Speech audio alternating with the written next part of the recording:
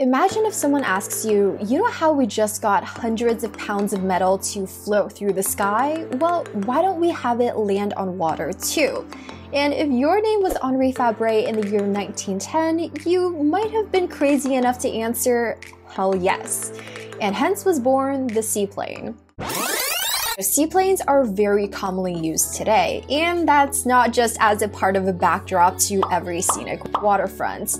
Now, since they can land essentially anywhere there is water, they're widely used to access remote locations without airports and have been instrumental in performing search and rescue missions over water. But there really is a lot more than meets the eye to seaplanes. They're not just planes on a boat. There's a lot of ingenious designs and water aerodynamics that goes into how they work. And so today we're going to be taking a headfirst deep dive into the world of planes on water. How exactly do seaplanes work? Let's get started.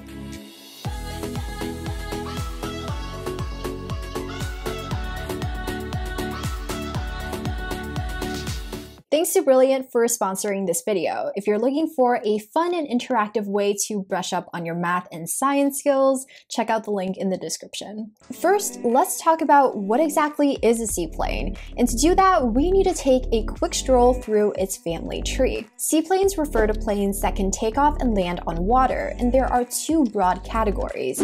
Float planes are probably what you're picturing, where the aircraft is supported by usually two floats, which create the buoyancy required to keep the aircraft above water. And oftentimes, we use the terms float plane and seaplane interchangeably. Now, float planes can be further separated into amphibious float planes or straight floats. Now, as you might be able to tell from the name, amphibious float planes can land on both water and land, usually through retractable landing gears that extend extend downwards from its floats. On the other hand, straight float planes will only work on water. And oftentimes, they're built by simply retrofitting floats onto the bottom of normal land-based airplanes, with some minor modifications. But there is also the slightly bizarre looking sibling of the float plane, and that is the flying boat. And I know, this looks less like a perfectly functional plane and more resembles the first scene of the Miracle on the Atlantic, but the concept behind flying boats is actually pretty simple. The underbelly of the fuselage itself creates enough buoyancy for the aircraft to float, basically acting like the hull of this plane ship and flying boats is typically the design used for larger seaplanes. Now, if you're wondering, no, most flying boats unfortunately can't land on land. They can only water on water. Flying boats came into popularity around World War I, and for a while they were some of the largest aircraft in the world. They weren't limited to expensive airstrips and even had extendable range by landing in the ocean next to ships or submarines carrying additional fuel.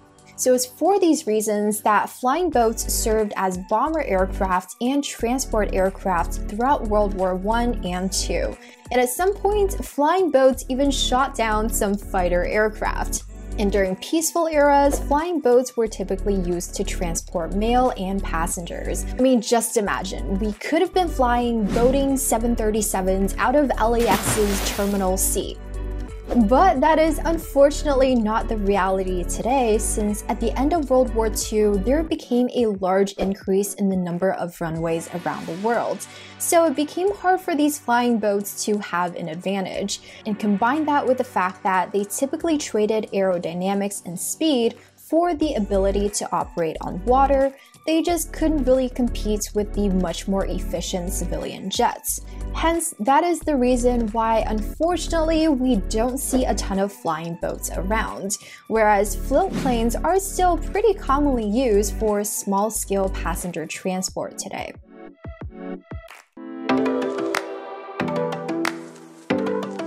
So now that we know a little bit more about the history behind seaplanes, what makes them so special anyway? I mean, besides the fact that they're planes on water. A large portion of the ingenuity behind seaplanes is quite literally understated, as in it's at the bottom of the floats. Floats are what enables the aircraft to, well, floats by displacing a volume of water that weighs more than the aircraft itself. And in most cases, these floats are required to be able to keep afloat almost twice the weight of a fully loaded aircraft the shape of the bottom of the floats can actually affect the handling characteristics of the entire plane in different climates. For example, take a shallow V-bottom float. Their flat shape makes them incredibly efficient for taking off in smooth waters, but it would have a hard time in any other condition. On the other hand, a deep V-bottom float would perform pretty well in rough waters, but struggle to gain speed quickly in calm conditions. As a result, most float bottoms make a trade-off between these two extremes to optimize performance in most conditions. For example, they might use a design such as a scalloped bottom, and there is still one more thing that's special about the way these floats are designed. At first glance, it might look as if the bottom of these floats have one straight line from bow to stern. But in fact, there's usually several flat surfaces called steps which break up the bottom of the floats. And the same design applies to both float planes and flying boats, where these steps can be found at the bottom of the fuselage itself. And to understand why we need these notches, let's take a look at how seaplanes take off. During takeoff, as seaplanes start to accelerate in the water, it'll start to hydroplane, where the bottom of the float is resting just above the surface of the water. Now, this stage is also known as running on the step. And unlike when we're driving, this is actually what we want to happen. Because as opposed to having the entire float make contact with the water during takeoff, the latter half will actually have an indent so it's sitting slightly above the surface. Now this allows some air to get underneath the float to start generating lift and reducing the resistance that the water is causing. And in this chart comparing the drag created from water during takeoff, you can see how much of a difference having this step makes, and in turn the reduction of thrust that's required from the engines for takeoff. Hence, it's with these seemingly small design changes that actually make the entire plane so much more efficient.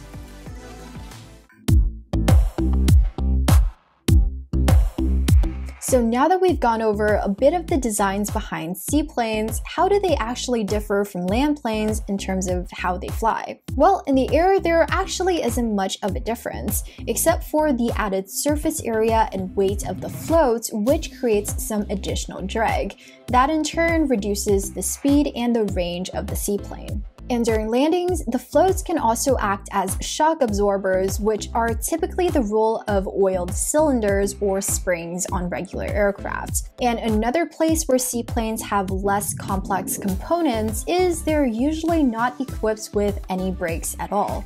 And that's not just because seaplane pilots take the motto of can't stop, won't stop a little too seriously, but rather during landing, the drag of the water alone is enough to slow the plane down. And in fact, water is so effective that the landing distance for a lot of seaplanes is only around half of the distance required for takeoff. Now, that's pretty impressive given that a lot of land based planes have a longer landing distance than takeoff distance. But the fact that seaplanes don't have any brakes at all also introduces some minor inconveniences. For example, the fact that pilots can't just approach the dock straight on, as they would for a regular gate. Instead, they need to approach the dock parallel to its edge. Oftentimes, to be extra safe, they'll need to get close to the ports, shut off the engines, then manually row themselves the rest of the way. And another byproduct of the lack of brakes is that once their engines are turned on, seaplanes are essentially always in motion. There is no such thing as standing still. So for this reason, the checklist for starting a seaplane looks a little bit different. That is, pilots will complete as much as they can, including physically pushing the seaplane off the dock before starting the engines. And at that point, they better have everything they need. And while on the water, the rudder and ailerons can actually act as mini sails that help maneuver the aircraft. Most also have water rudders that work in the same way they do on boats. So generally, in the water, seaplanes are about as maneuverable as boats are. That is to say, they are not very maneuverable.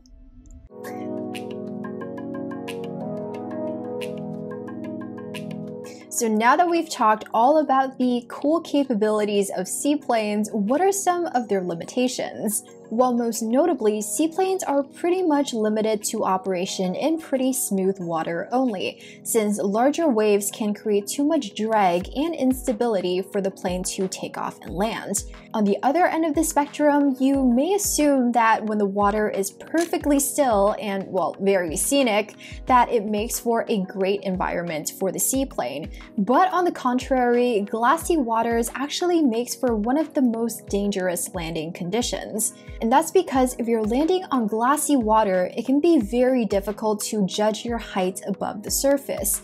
And also, the reference point on the water that pilots typically pick out to help them navigate to land becomes impossible to distinguish. And extremely calm water also makes it difficult to take off as well, since typically waves will introduce some air bubbles underneath the floats to help reduce drag. But with glassy water, the float is in contact with the water at all times. Hence, in these scenarios, pilots will typically choose to circle around the area just prior to taking off to create some small waves. So for these reasons, seaplanes are generally limited to operation in relatively smooth weather and water conditions.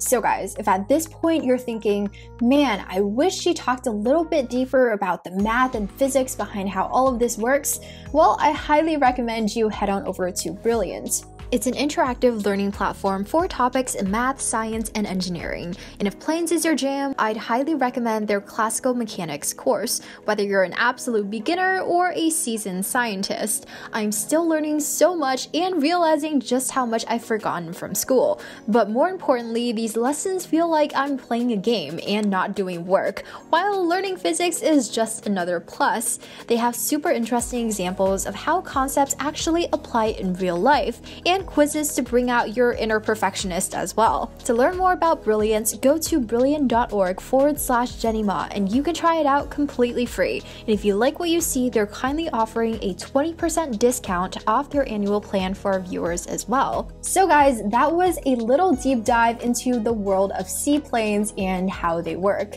I initially got the idea for this video as I was taking a walk in Vancouver and noticed that every few minutes or so there would be a seaplane landing or taking off. And I realized just how nonchalant we were about this whole thing that planes can work on water.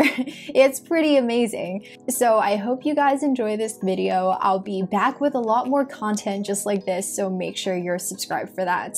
And if you enjoy this video, feel free to give it a thumbs up and let me know your thoughts in the comments down below. But that's it from me. Thank you so much for watching, and I'll see you next time.